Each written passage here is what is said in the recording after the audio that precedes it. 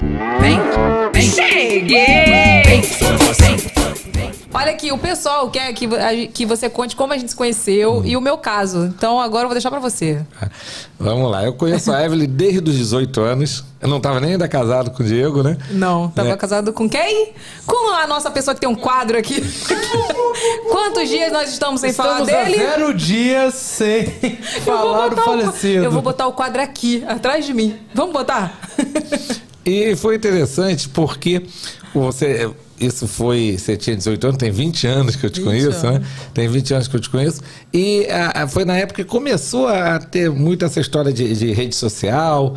Aí eu estava tava, é, programando de fazer um site, e aí uma, uma pessoa indicou a Evelyn para fazer, fazer o meu site. E eu foi... não é muito programadora, né? Desculpa, né, galera? Eu não fazia só o blog das blogueiras, eu fazia site também, é. de pessoas famosas, assim, importantes, igual o Dr. Paulo. Aí ela, ela que fez meu primeiro site. E nisso que a gente fez o primeiro site, a gente começou a conversar e ela estava pretendendo engravidar.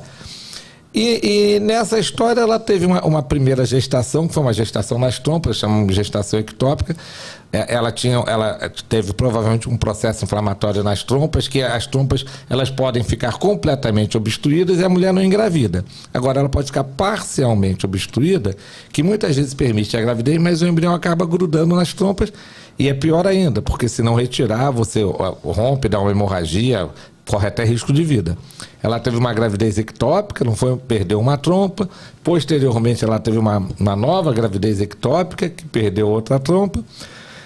Aí, em 2014, a Evelyn resolveu partir para o tratamento de fertilização in vitro. O primeiro tratamento, é, é, a Evelyn fez um tratamento de, de, chamado ovo doação compartilhada, em que ela isso, é doava é parte dos isso. óvulos. Mulheres jovens, com menos de 35 anos, principalmente com menos de 30 anos, podem procurar as clínicas de reprodução assistida, podem nos procurar lá na Clínica Vida, pode me procurar que eu coloco vocês nesse projeto. As mulheres com menos de 35 anos, principalmente menos de 30, que produzem muitos óvulos, a gente pede os exames. Se ela for uma boa produtora de óvulos, ela pode participar desse programa de ovo doação compartilhada, que é um, pro, um programa em que ela doa metade dos óvulos para uma pessoa que ela não sabe quem é, e aquela pessoa paga o tratamento seu também sem saber quem você é. Foi maravilhoso, você acaba, não tinha condições na época. Na, naquela época, a Evelyn não, não, era, não era conhecida como hoje, né, Evelyn? Garoto, deixa abaixo. ela estava menos rica nessa época, é. né? Naquela época ela era mais pão dura. Era. Qual é? Brincadeira. A Evelyn estava começando a vida profissional dela ainda e ela participou desse programa. Que ela, ela, a, a, nesse projeto, a, a, doadora paga só os remédios. Sim. Então fica muito mais barato. E doadora jovem acaba gastando 6 mil reais de remédio. Então, em vez de gastar 30 mil no tratamento, gastou 6 mil reais. E ela fez o tratamento, doou parte dos seus óvulos e, infelizmente, não engravidou.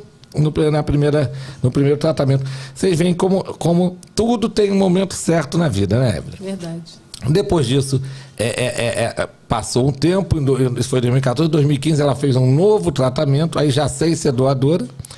E nesse novo tratamento, ela, produziu, ela conseguiu oito embriões.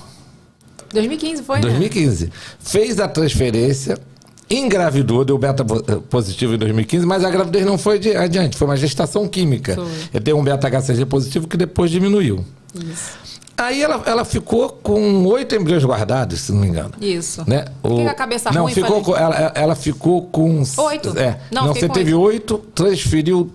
Não, eu, tive, eu acho que eu tive 10 é. e, e, congelei dois, 8. Deixa eu conferir. A gola dele. Ô, Paulo, eu quero eu saber quantos baby reggae a gente vai ter. Não, ela, que ó, isso, ela gente? fez oito, ela teve oito embriões, transferiu dois e ficou com. Eu transferi dois. Eu tive chances de ter gêmeos. É. Transfiro dois embriões e teve a gestação química. Foi por isso que Deus falou, não vai ser dessa vez. Aí ela resolveu... No livro de Marlene, é. não terá gêmeos. ela resolveu investir na carreira profissional dela, que você estava começando essa, essa carreira mais de blogueira e tudo mais. Aí eu dei um tempo, deu, falei, deu um vou. tempinho só de três anos. Ela sumiu por três anos. Sumi nada, a gente sumiu por três anos. Sumiu por três anos. Aí ela fez uma nova transferência. Em 2018. Em 2018 já com outra cabeça, já, já outra... decidida. Que aí veio o Lucas. É verdade. O Lucas nasceu em 2019, não 19. foi janeiro de 2019? Agosto. Quando... Agosto. Não, você fez a transferência em final de 2018. Isso. Em final... E nasceu em agosto de 2019. Isso mesmo. Aí a, a, vida dela ficou mais louca. Não, transfer, fazer o tratamento da Evelyn em 2018 já foi assim. Não, esse mês eu não posso porque eu tenho um, um trabalho lá no, que eu vou estar em Paris. Semana que vem, não, na outro mês não dá que eu vou ter um trabalho em, em Nova York. Mas é Falei, porque... Evelyn, você tem que parar aqui porque eu não posso ir atrás de você com o embrião para colocar o embrião onde você estiver. Não é isso, é Olha, porque... Você tem que parar 15, você precisa ficar 15 dias parado Ô, Paulo, aqui. você teve a, sorte a é dele, falar, né? não dá não? Ah, não dá? Não dá. Como não dá? Não dá pelo WhatsApp? Sabe? Não dá pra vir assim atrás de mim, a gente coloca no aeroporto. É porque, o que, que aconteceu? Eu até falei isso no- em alguns dos meus vídeos. É, eu acho que também é muito importante. É difícil a gente falar isso, né? Que tem que, ter uma, tá, que tem que estar com uma cabeça muito boa. E eu não tava com a cabeça muito boa em 2015, porque eu já tinha tido uma perda e tal. Então, assim, quando, 2018 eu tava decidida. Eu falei, vai dar certo. Então eu vou trabalhar muito. Trabalhei muito. Fui pra Paris, fiz semana de moda. Fui pra Ucrânia, pra final da Champions League. Olha, eu viajei a beça. Fui pra, foi o ano que eu fui pra casa do Antônio Bandeiras. Hum, dá trabalho, tá? Me pagaram pra ir pra casa do Antônio Bandeiras, gente. Eu ia ter de graça. Você não precisa nem pagar. Ninguém nem descobriu isso, né? Gente, maravilhoso. Aí, tipo assim, foi um ano que eu tava com a cabeça muito voltada pro meu trabalho, mas eu falei, final do ano eu vou tentar. E foi de primeira, assim, né? Foi mesmo, graças a Deus. Na verdade, foram 10 sim, porque você tem 6 agora. É, eu tô você falando foram 10, dois, eu tô falando. depois mais um e agora mais um. Você tem 6 guardados. Eu tenho seis baby regles gra- guardados. Então são seis aí? Seis Vamos potenciais? ter Porque, seis. na verdade, ela, ela, fez o ela fez o tratamento, transferiu dois que não engravidou Foi. e ficaram oito. Verdade. Então foram 10 ao todo. Você transferiu dois que não engravidou, ficaram oito. Depois você transferiu o, o, o, o Luquinha, que já, graças a Deus, já tá aí. Transferiu esse outro, ainda tem seis guardados. Ainda, ainda tem seis é, bebês regras guardados. É verdade. Vamos garantir 10 anos de publi ainda aí. Ai, que ridículo, Renato. Olha aqui. Uma coisa que muita gente me perguntou, eu vi aí que eu nem lembrava que eu tinha colocado dois, né? É, transferido dois. Muita gente me perguntou isso. Por que, que eu não, colo não coloquei dois? Explica por quê. O que, você- que, que você me fala dos Vamos dois? lá. Hoje, a tendência de todas as clínicas de boa qualidade é transferir ou dois embriões de D3 ou um blastocisto. O blastocisto é um embrião que chegou ao quinto dia. Por que isso? Porque cada dois embriões de D3, um chega a blastocisto. A finalidade da fertilização in vitro não é gemelar. As pessoas, todo mundo gosta, ah, eu quero fazer, quero ter gêmeo, quero ter trigêmeo. Isso é um horror, gente. Eu falo com meus alunos, a fertilização é para ter um de cada vez. Dois acidente, três é calamidade. Gestação gemelar e trigemelar mais ainda é gestação complicada. O neném, a criança nasce prematura. Se nascer prematura demais, vai para UTI. Pode ficar com sequela. É, o, o risco aumenta de diabetes gestacional, pré-eclâmpsia, que é o é o aumento da pressão. Então, gestação gemelar não é o foco do tratamento de reprodução. O foco é você ter um de cada vez. E hoje o Mas melhor. tem gente que chega e fala assim, quero dois. Tem gente que fala, a, a, a, a, a resolução do CFM permite transferir até no máximo dois embriões. Mas a gente hoje, a tendência do- dos, dos médicos de trabalho de reprodução é só transferir dois embriões se for embrião de D3, de terceiro dia de evolução. Porque aí o risco de gemelar é menor que 10%. E se for blastocisto, que é o quinto dia, você transferindo um blastocisto, você tem no máximo 1 a 2% de risco de gemelar, que é naqueles casos que o embrião se divide e viram, dois, viram gêmeos idênticos. E porque essa nossa. Não, você transferir 3, 4, 5 embriões não aumenta as chances de engravidar de forma significativa, aumenta as chances de gemelaridade. Por exemplo, uma mulher de 35 anos que transfere um blastocisto ou, ou transfere três blastocistos, vai ter mais ou menos a mesma chance de gravidez, de 40%.